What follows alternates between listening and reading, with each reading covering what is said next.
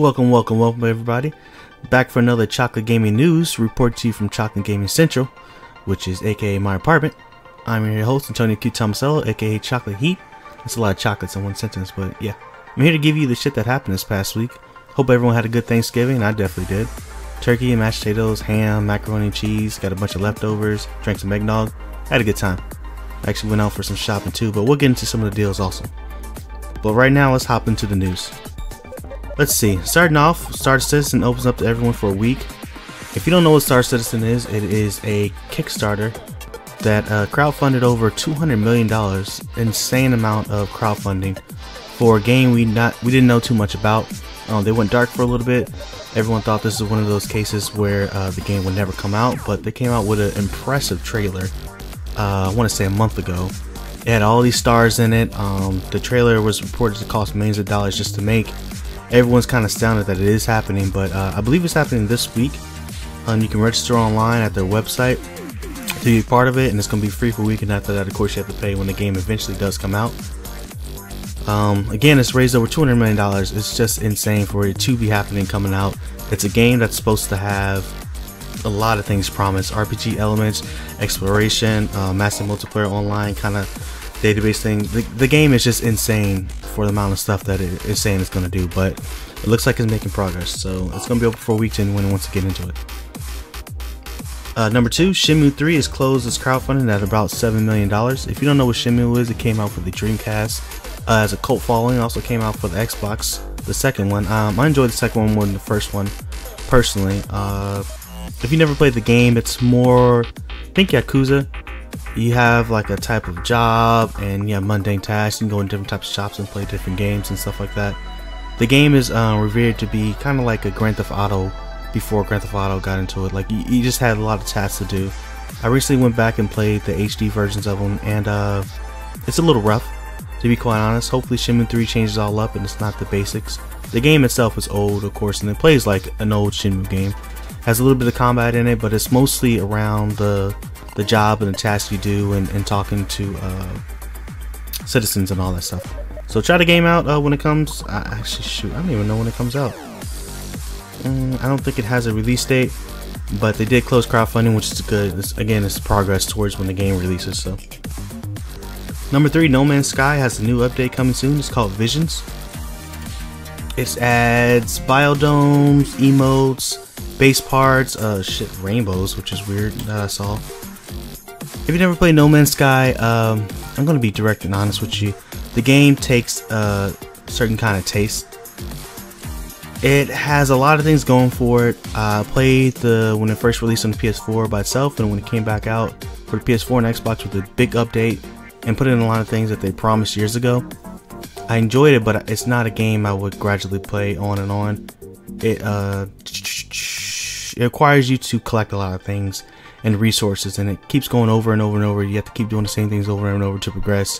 And it has great ideas, but honestly, the game is a little boring. I don't want to rip on it. It's doing a great job. After years of uh, a hiatus about the things they promised, they're actually really pushing this game out. So if you enjoy No Man's Sky, look forward for the update. Number four, Kingdom Hearts has gone gold. This is big. If, why I keep saying if you, if you don't know what Gone Gold is, uh, it means the game is done. The game is done and it's time to print it or put it on disc or all that, whatever. So games have a release date and they try to stick to a release date, but until they officially go gold, they can push the release date back. So if a game is two months out and it hasn't gone gold yet, it's one, one month out, they could say, you know what, we still need more time to fix these bugs. Let's finish the stuff and then we'll go gold, we'll be done, we can print it out. But Kingdom Hearts has gone gold, which is great. It releases on January 29th, 2019. So I'm a big Kingdom Hearts fan. I love the first one, I love the second one, I love the PSP ones. A couple DS ones are great. Uh, a little hit and misses with some of the games, but the, the core franchise, 1 and 2, were fantastic games, and I'm looking forward to the next one. 5, kind of sad news a little bit. Uh, Fallout 76 players are less than Fallout 4. When you want to make a sequel, you always want to uh, have a bigger player base. You want to reach more people, you want to have more people playing a game, you want to have more people buying a game. Fallout 76 is not doing so great right now. I recently, um, I haven't played the game myself, but I looked into it Um, looked into all the early gameplay impressions, and it's not good. The game is very buggy. Um, I, I can't stand what the company they don't have a great graphics engine. They don't. Skyrim and all that stuff that they make is getting old, and I understand that these are great games. Fallout 4, Fallout 3, Skyrim, Elder Scrolls. Trust me, Elder Scrolls 3 is my one of my favorite games of all time. Their engine is getting old. They need to make a better engine. It just looks sloppy. It looks nasty. Along with that, there's so many bugs, and now they introduce a multiplayer aspect to Fallout. It's more bugs on top of more bugs. We can forgive a game if it has little bugs, but now when you add in the multiplayer aspect and you're playing with friends and you're having real big problems, it's not good. The game is a little bit barren. It's taken away from its RPG elements. To add to multiplayer, it still has a great Fallout uh, feel, but the game itself is is a little different. No NPCs in the world. It feels a little dull. Um, reports that if you're playing solo, you're not going to have fun with this game. I'm eventually going to pick it up. Maybe it's on sale again. It's on sale Black Friday and some uh, retailers, but I'm still not sold on it. From the stuff I've seen, I'm definitely not sold on it. But as of right now, has less than half the player base of Fallout 4, which is not good. Hopefully, with updates, they can fix the game, make it what it should be, and uh, get the player base up and sell some more. Uh, 6 is great news actually. If you enjoy the Castlevania franchise anime off Netflix, well, there's good news for you. The Castlevania producer is on works to produce a type of uh, universe with Castlevania and Devil May Cry. I'm very excited about this.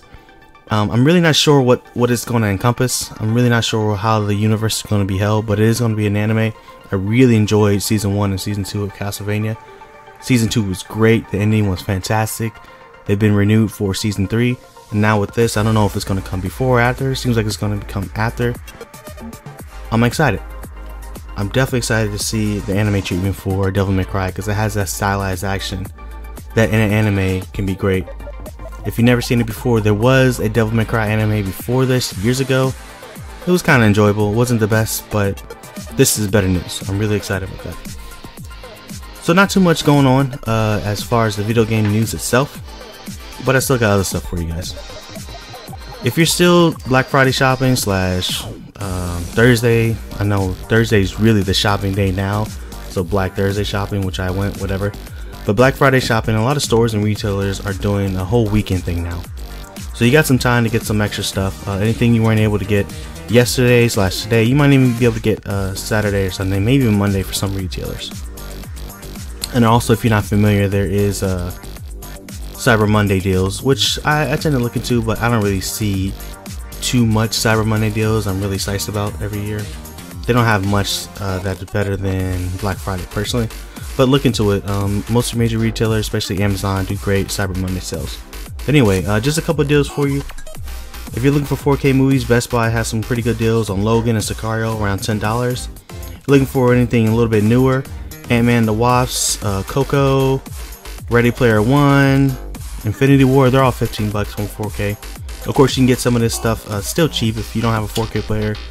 Uh, they're on Blu-ray for sale. Regular DVDs, unfortunately, I don't buy regular DVDs anymore because all I have is at least Blu-ray or Ford. So, looking into stuff like that, uh, Best Buy has some good sales, and the great part about now this year is that they're doing a lot of online sales too. So you don't have to go into the store; you can just buy it offline, easy peasy. There's also Nintendo Pro Controller on Amazon for 60 bucks. I think it retails for 70 or 80 if I remember correctly. I can't, uh, but I mean, if you're looking for the Pro Controller, that's a pretty good price for it. I personally like the PowerA wireless controller that they came out with. I want to say it's 50 bucks. But I mean, if you want the official brand, this Pro Controller is pretty good. So Smash is coming out. If you want something a little more sturdy, a little bit more fight pad oriented, the Pro Controller is where it's at. Uh, GameStop has a pretty good sale on games this year. Their Tomb Raider and their Assassin's Creed, along with other games, are $27. That's a pretty good deal, um, especially for two games that came out recently. Assassin's Creed's got rave reviews, Tomb Raider's got decent reviews, um, but those are pretty good to pick up. If you have a Nintendo Switch, SanDisk are on sale. The micro SD cards, um, these are steals, really. I highly, if you have a Switch, you need more memory. You seriously need more memory, and Amazon's got some pretty good deals. They got about 200 gigs running for 30, 64 gigs running for 12, and if you want a 400 gig, it's about 80. And there's gigs in between that um, with the prices varies, but go ahead and look on Amazon. I'll do a, a link to Link down in the description. Uh, IGN's doing a great uh, comprehensive comprehensive search of all the deals, and they did uh they linked them all together, so you can just go through and look at well, there's games, entertainment systems. There's also you know cameras on sale. Best Buy's got a $400 uh, SLDR. Uh, was it Rebel Canon or something like that? Pretty good deal on that. Um, they also have a sale on cheaper camcorders and all that. I mean, it's I, love Black Friday shopping. You know, I don't suggest anyone go out and fight the crowds. But if you got a little bit of money to spend, you want a TV, you want a camera, this is really the best day to buy it. So if you don't want to go out, my suggestion is just look online and see what they got, order, and then wait for it to come in. You'll be alright. Video game releases, not too many, uh, not too much stuff came out. It's pretty bad to release a game uh, on Black Friday. It's actually just really stupid. Uh, one, because you can't put the game on sale because it just came out. You can, but it wouldn't make any sense. Battlefield 5 came out. It's getting okay reviews. It's got its problems. Stupid release date, to be honest, and I think that's why it's not doing so great. But Battlefield 5 came out. Uh, Farming Simulator, Farming Simulator came out for the Xbox and the PS4.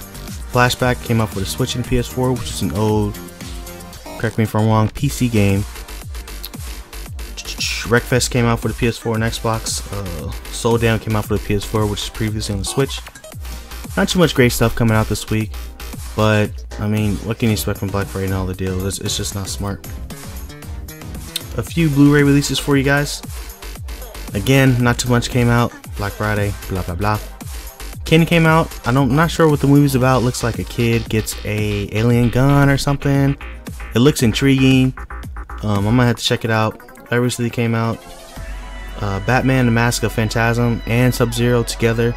These are great original Batman animated movies some of the best of all time, um, and they're the oldest. So if you haven't seen them before, I suggest anyone to pick them up. They're great. They're on Blu-ray right now.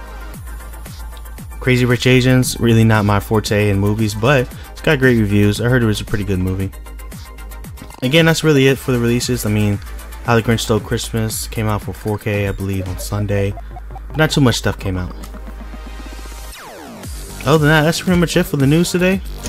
Um, I got some stuff coming down the pipeline. Hopefully I can get some videos started. I know I don't want this fucking uh, graphic just on the screen, just with me talking. I want some actual video game footage. I got my Elgato Pro in my computer I need to hook up. Maybe get some gameplay footage of me playing games or something. And then eventually move on to more capture footage. I'm probably going out today to buy me a camera, hopefully. If my car note lets me buy it. car notes comes first.